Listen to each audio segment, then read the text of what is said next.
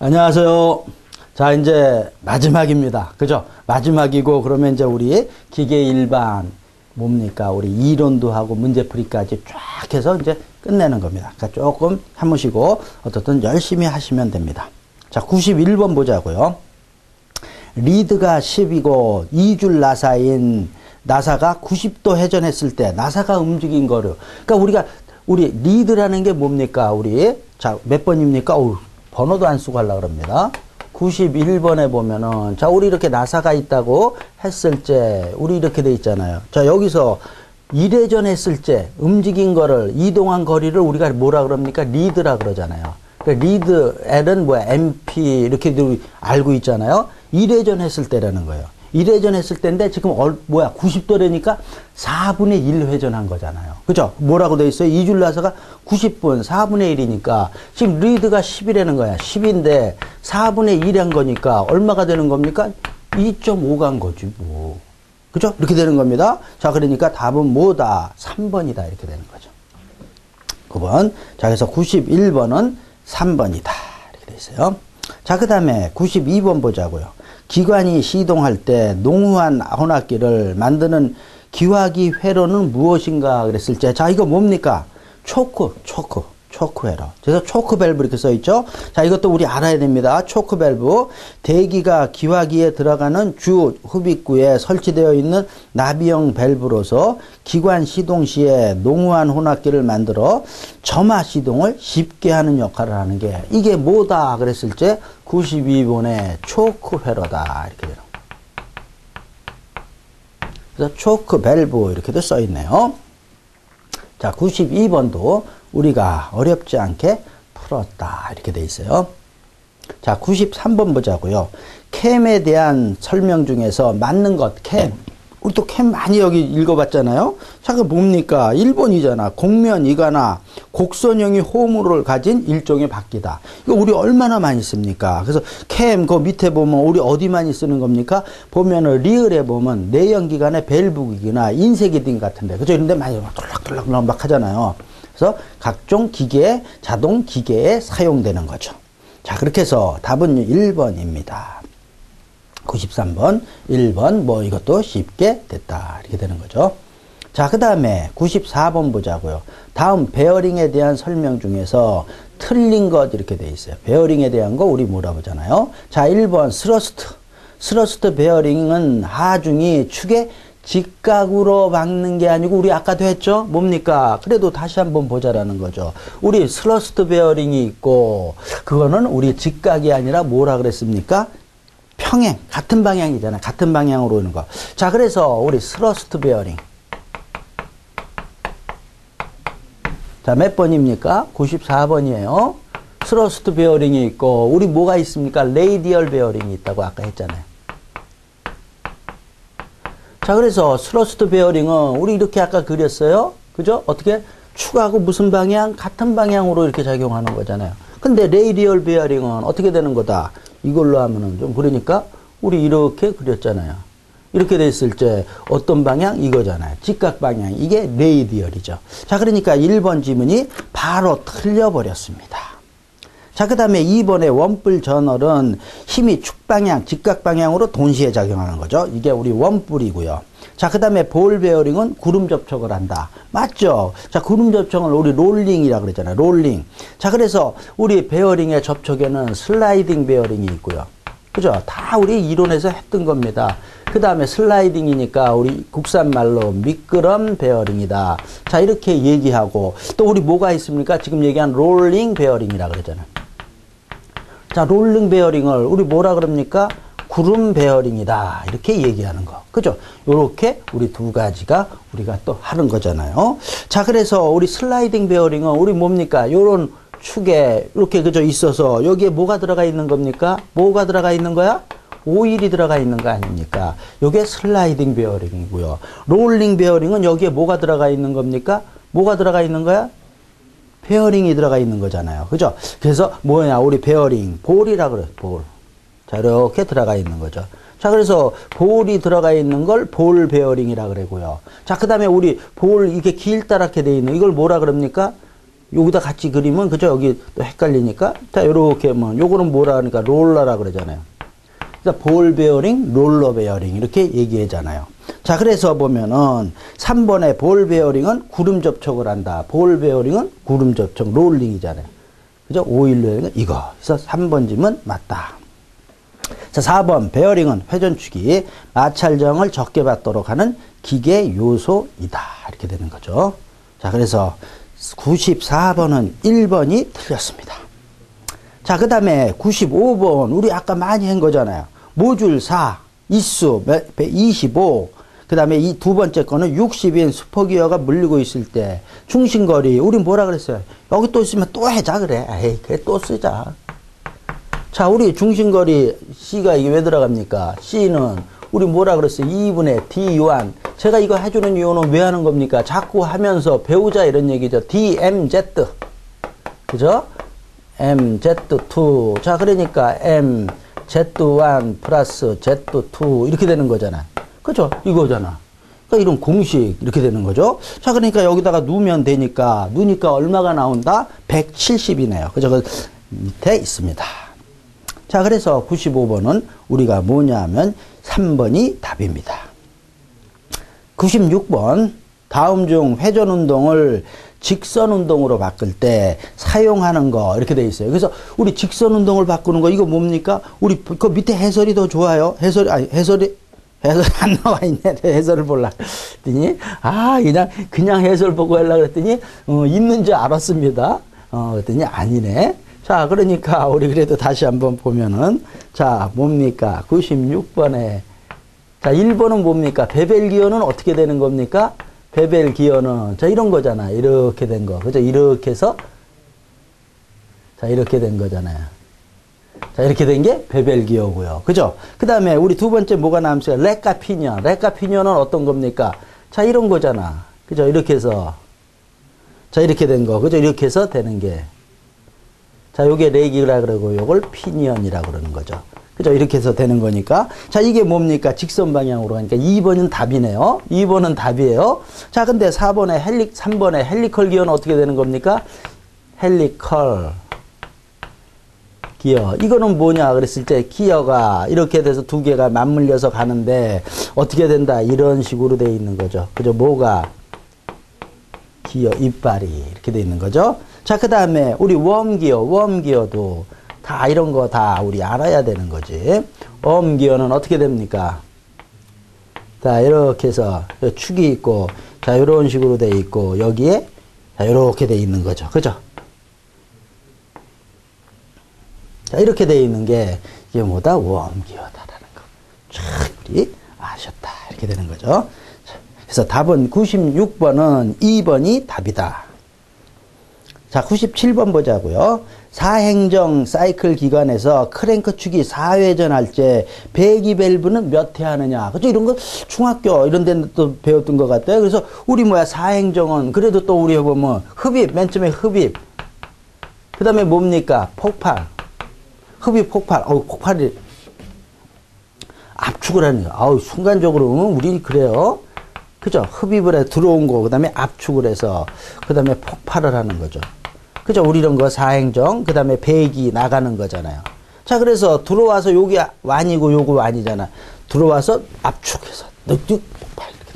그죠? 이렇게 해서 뭐냐? 2회죠. 2회. 흡입, 압축. 자, 그래서 답은 97번은 2번이 답이다. 이렇게 돼 있어요.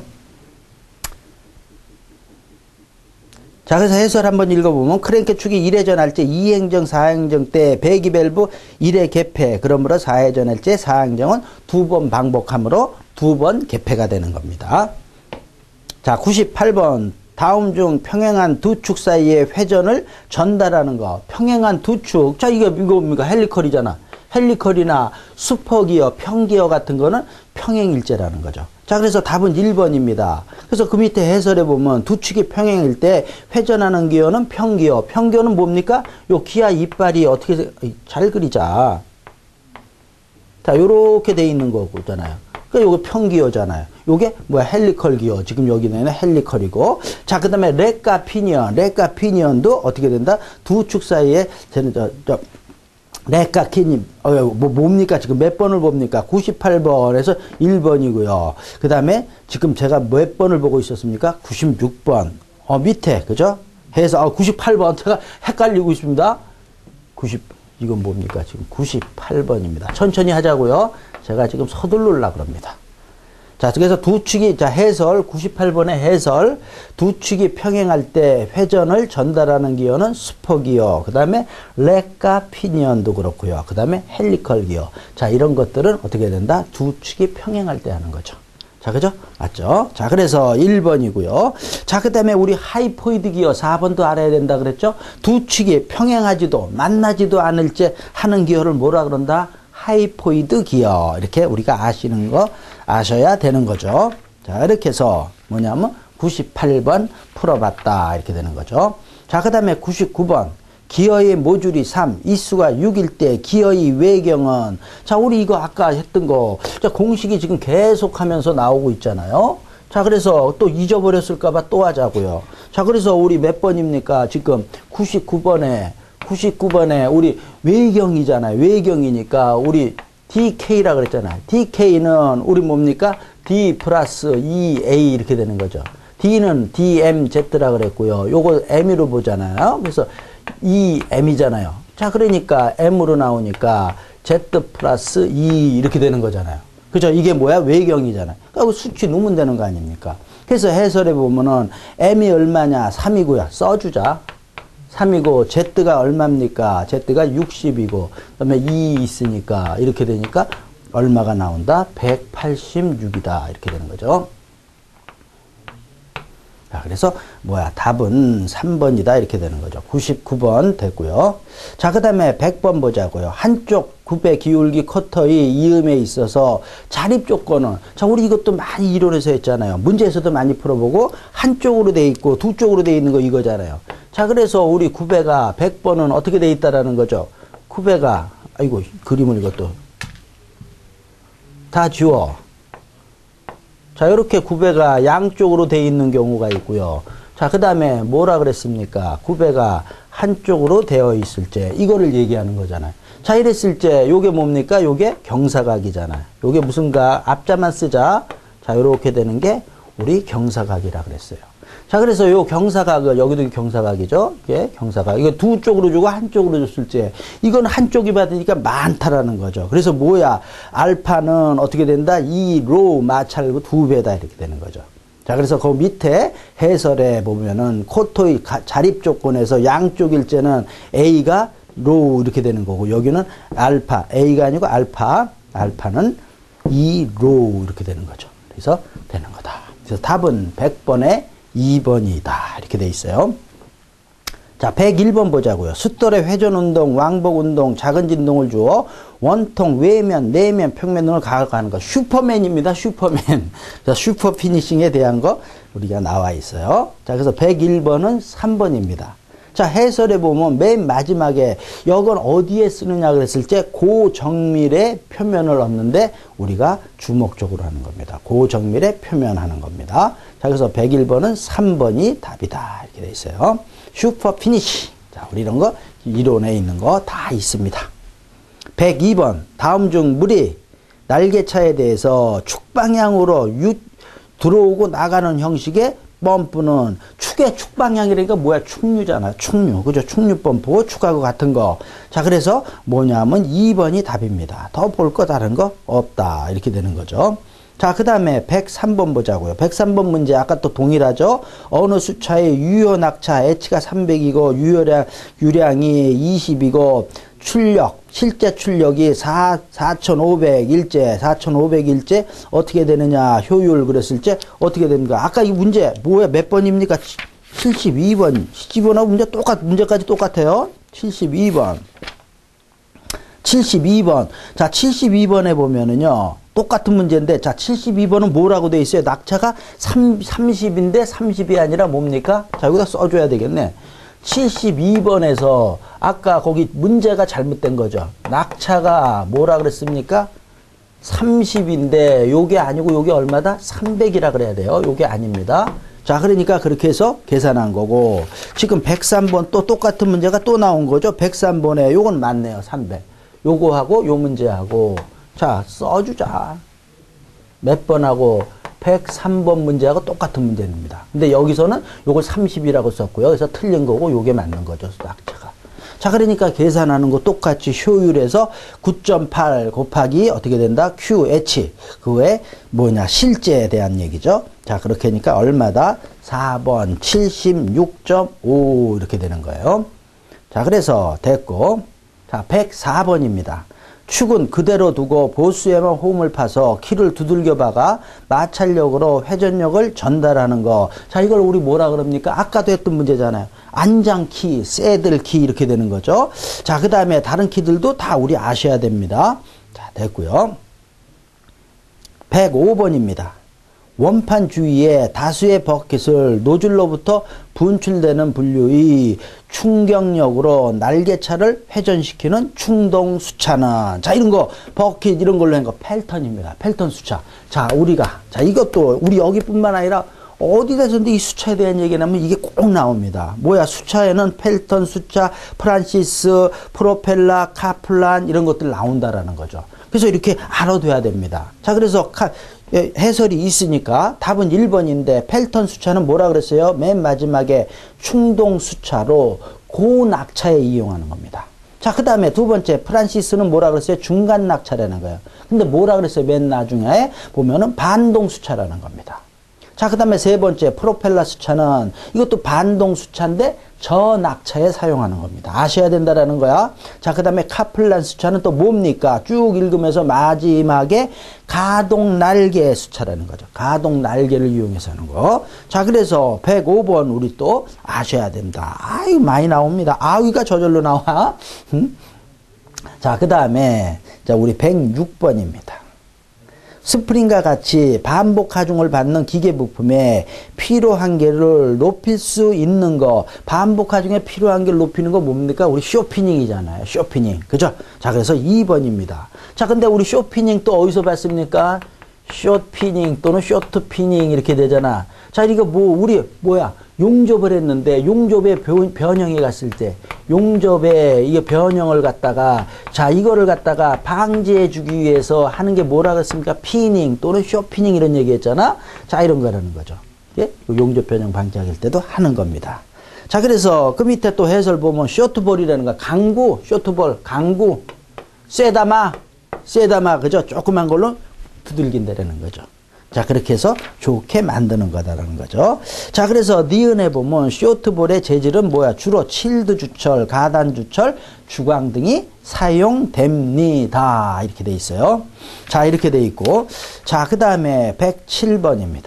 디젤 기관 연소실 중에서 냉각 손실이 가장 큰 것, 냉각 손실이 가장 큰 것. 자, 이거 3번이죠. 와류 실식이라는 거죠.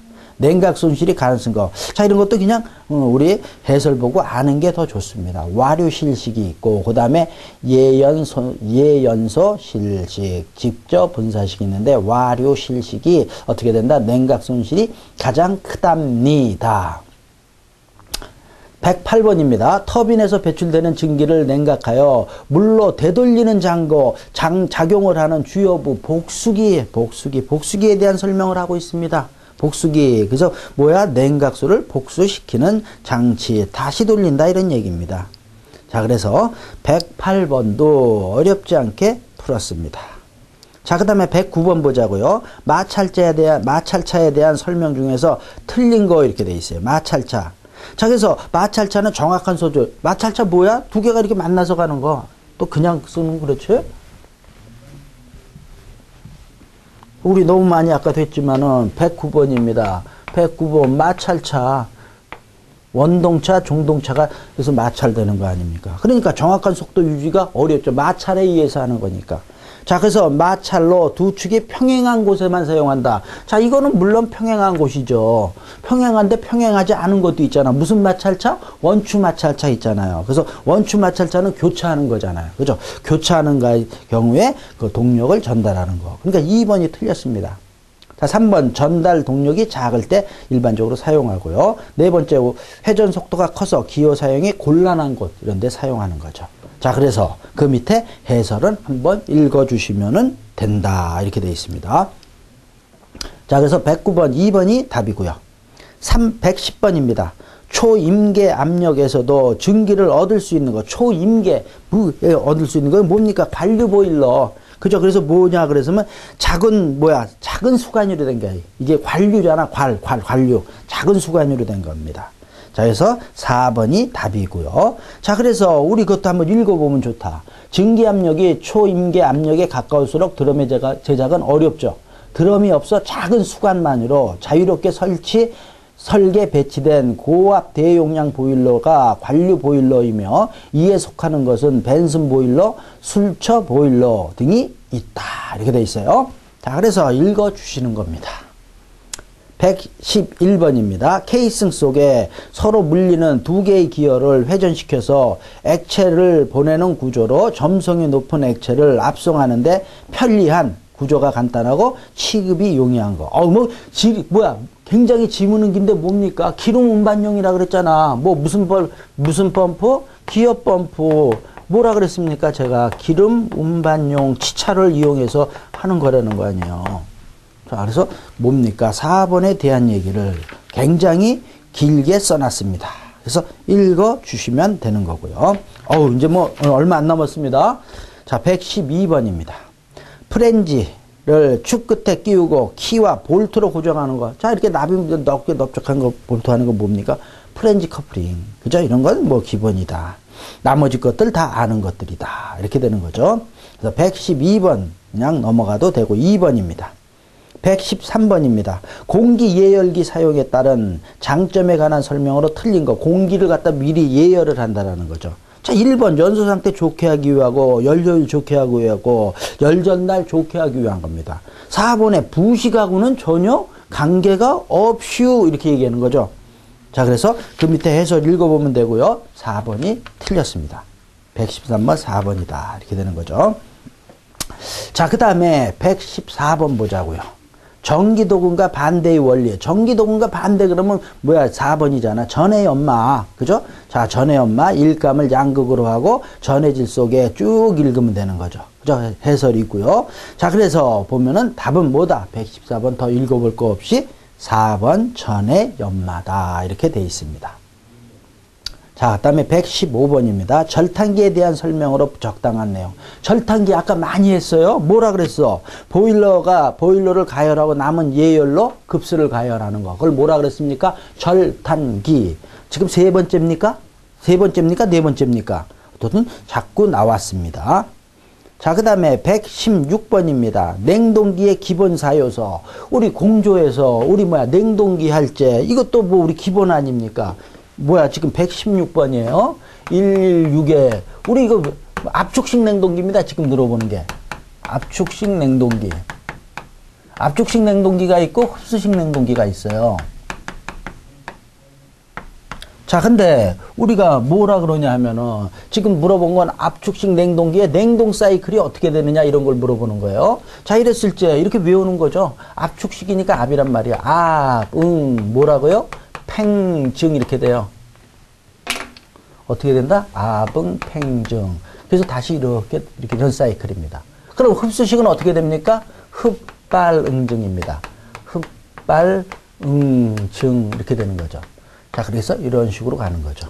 자, 그래서 우리 여기서 물어본 건 압축식에 대한 거 몇 번이다? 4번이다라는 거. 압축기, 응축기, 팽창밸브, 증발기 이렇게 되는 거예요. 자, 그래서 4번이 답이다. 이렇게 돼 있어요. 자, 그 다음에 117번입니다.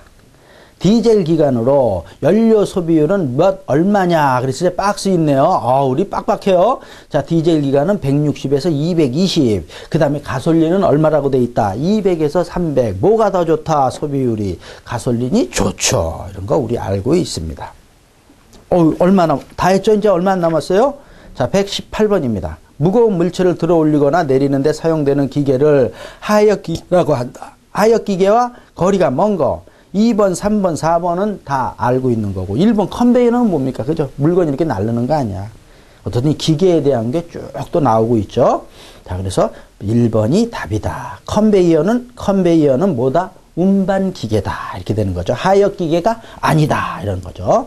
자, 그 다음에 119번. 우리 옥탄가. 옥탄가라는 말 많이 합니다. 그 옥탄가에서 75는 뭘 뜻하느냐? 그냥 아는 겁니다. 4번의 이소 옥탄의 최적 백분율이라는 거죠. 자, 그래서 4번이고요. 자, 그 다음에 그 해설 보자고요. 가솔린 연료의 노크를 일으키기 어려운 척도를 표시하는 게요. 자, 이런 거 알아야 되는 거죠, 옥탄가. 그래서 이소 옥탄의 최적 백분율로 표시한다라는 겁니다. 자, 그래서 119번은 몇 번이냐? 4번이 답이다. 이렇게 되는 거죠. 자, 그 다음에 120번 보자. 이렇게 돼 있어요. 자, 120번. 공기조화 방식과 특성을 잘못 짝지은 것. 자, 그래서 보면 답은 1번이라고 돼 있어요. 패케이트, 패케이지, 유니트 방식. 자, 이거는 일반적으로 뭐야, 좀큰데 쓴다라는 거죠. 그래서 소규모가 아니고. 자, 그 다음 펜코일은 뭡니까? 펜코일은 물만 사용하는 겁니다. 우리 뭡니까? 이 공조 방식에 대한 것도 공조.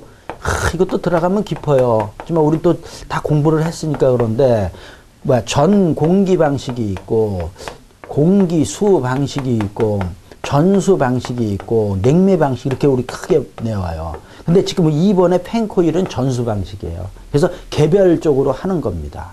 자, 그래서 패, 패케이지 유니트는 우리 중, 좀 큰데, 이렇게 하는 거예요. 자, 그 다음에 이 3번에 이중 덕트는 덕트가 두 개로 가는 거예요. 그래서 온풍, 냉풍이 별도로 가서 나중에 뭐야, 각실에서 혼합되는 겁니다. 뭘 이용하는 거예요? 이중 덕트도 전공기를 이용하는 겁니다. 이중 덕트가 있으면 또 뭐가 있어요? 단일 덕트가 있어요. 덕트 하나로 가는 거. 자, 이런 것들은 복잡한 zoning에 적합하다. 이중 덕트. 거는 맞습니다. 어, 4번에 나와 있네. 어, 단일 덕트는 냉온풍 혼합해서 열손실이 발생한다. 자, 그래서 이거는 조닝 한다 그랬어요. 그래서 이거는 뭐냐면 에너지 절약형입니다. 그런 얘기도. 우리가 공조도 깊게 들어가면 그렇죠. 또 우린 깊게 좀 안 나와 있어요. 자, 그래서 1번이 답인데 우리 해설 보면 어떻게 돼 있어요?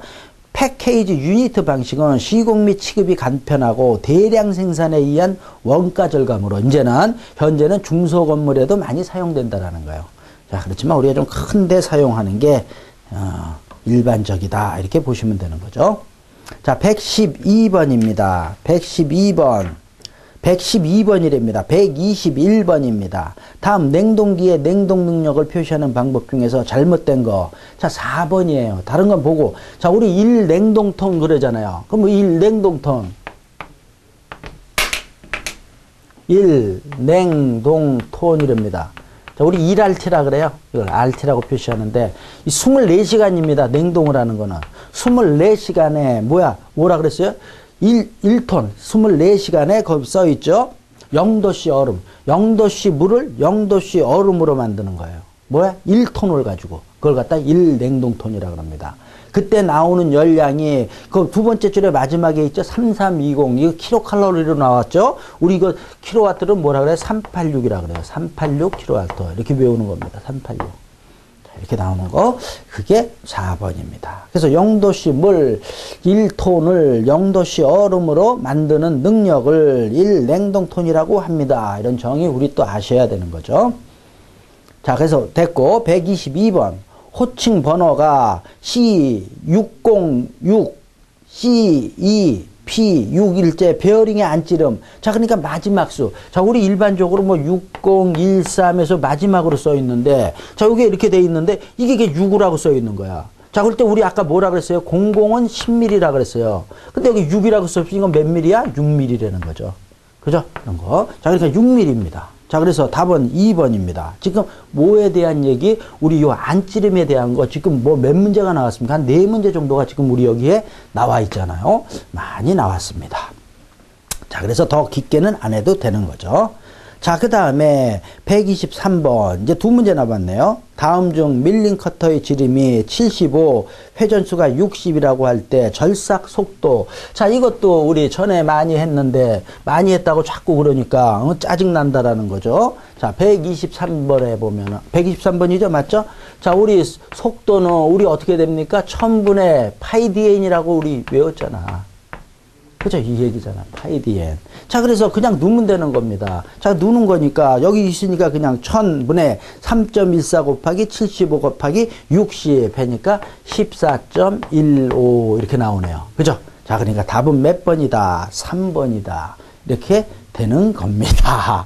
자, 그 다음에 124번. 어우, 다 이제 마지막입니다. 다음 중 보일러 본체에서 발생한 습포화 증기를 보일러 본체 내에서와 같은 압력에서 가열하여 고온의 과열 증기를 만드는 거. 과열 증기 만든다라는 거죠. 항상 그럼 뭐야? 과열기지. 자, 그죠? 과열기에 대한 설명인 겁니다. 그죠? 그래 해설이 그렇게 돼 있잖아. 자, 그래서 124번은 뭐냐 하면은 과열기에 대한 얘기입니다. 어우, 자, 그렇게 해서 뭡니까? 우리 기계 요소 4장에 대한 것까지 해서 쭉 우리 풀어봤습니다. 어떻게 저 수험생 여러분들 어떻게 어, 공부 잘 되고 많이 아셨는지 모르겠습니다. 자, 근데 또 넘겨서 보니까 뭐가 있습니까? 부록이라고 나와 있다라는 거죠. 부록에 보면 최근 기출 문제 쭉 나와 있습니다. 자, 이것까지 또 해주면 좋지만 시간도 없고 그래서 자, 부록에 나와 있는 기출 문제 이거 풀어봐야 된다, 안 풀어봐야 된다. 그럼 이러지. 아, 물어볼 걸 물어보세요. 이렇게 되는 거죠. 그죠? 반드시 풀어보셔야 된다라는 거죠. 기출문제 풀어보시고요. 자, 그래서 기출문제 풀어봤다라고까지 해 주셔야 되고. 자, 그렇게 해서 어떻게 되는 겁니까? 오늘, 어, 우리 기계 일반에 대한 전반적인 이론하고 문제풀이까지 해서 자, 이제 끝날 때가 됐습니다. 어떻든 그동안 자 우리 수험생 여러분들 저, 저 수험생 여러분들이 젊은 분서부터 많이 있습니다. 젊은 분서부터 쫙 계층이 우리도 폭넓어요. 그래서 여러분들이 공부하고 계신데 어떻든 많은 도움이 돼서 좋은 결과, 좋은 결과는 뭡니까? 합격이죠. 좋은 결과 있기를 바라겠습니다. 어쨌든 그동안 고생 많이 하셨고, 자, 저는 이제 물러가겠습니다. 어떻든 자, 그동안 고생하셨습니다.